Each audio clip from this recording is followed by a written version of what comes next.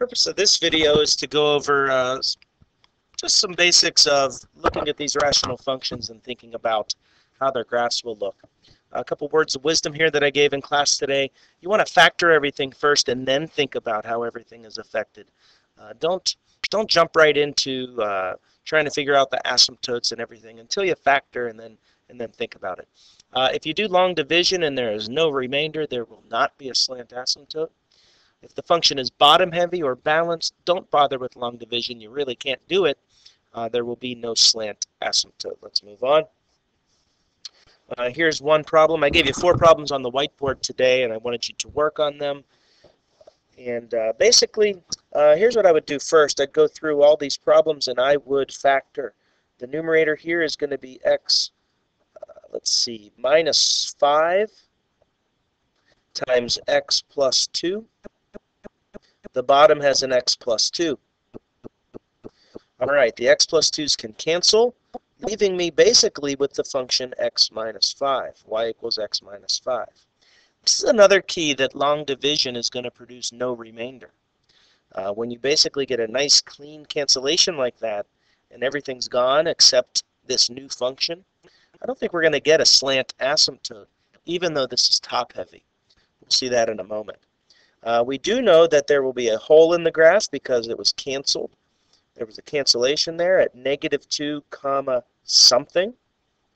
That something comes from plugging negative 2 into the remaining function and seeing what you get. Negative 2 minus 5 is negative 7. Voila. That's where the y coordinate is. Negative 2, negative 7. Let's go ahead and work up the, up the ladder here. The y-intercept is found by plugging 0 in for x. 0 minus 5 is negative 5.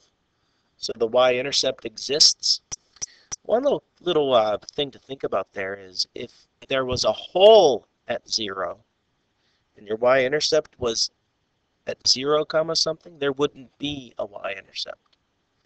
If you ever have a point that's also where a hole is, then you're not going to have um, a point actually there.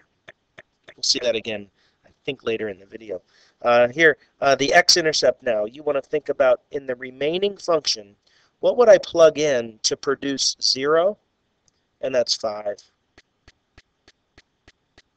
Vertical asymptote. After you canceled stuff, is there any denominator left here?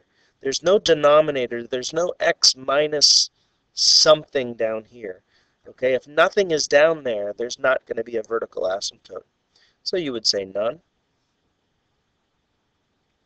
Horizontal asymptote, top heavy, none.